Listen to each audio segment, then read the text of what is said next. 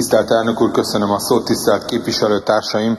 A választási eljárási szabályoknak az elektronikus ügyintézéssel összefüggő módosításáról szóló TEPER 3777. számú törvényjavaslattal kapcsolatosan a Jobbik konzervatívok képviselőjeként az alábbi eh, dolgokra kívánom felhívni a tisztelt ház figyelmét. A javaslatot a Nemzeti Választási Iroda terjesztette be még az igazságügyi minisztériumnak annak idején, ezt megelőzően ezt megküldték az összes parlamenti frakció vezetőjének véleményezésre.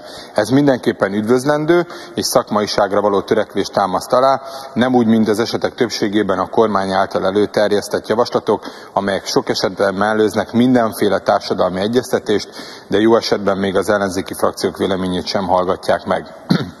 A módosítás célja és egyben legfőbb célja az e-ügyintézés eszköztárának megújítása és kiterjesztése, továbbá célja a választási eljárás modernizálása és az ügyintézés megkönnyítése az ügyfelek és a választási szervek számára az elektronikus ügyfélazonosítás kiterjesztése és az automatikus döntéshozatali eljárás bevezetése is szerepel a javaslatban.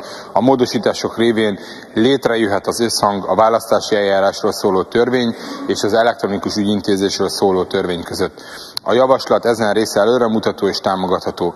A javaslat bár tisztázza, hogyha a képviselő, a polgármester vagy a főpolgármester megbizatása 2024. október 1-ét megelőzően megszűnik, időközi választás nem tűzhető ki, de még mindig kérdéses, hogy 2024-es választás és október közötti időszakban fennálló átmeneti időszakra milyen szabályok lesznek érvényesek. Ezeket célszerű lenne itt tisztázni, így hát arra kérjük államtitkár urat, illetve a kormánypárti képviselőket, hogy ezt a vitában tisztázzák is. Köszönöm szépen figyelmüket!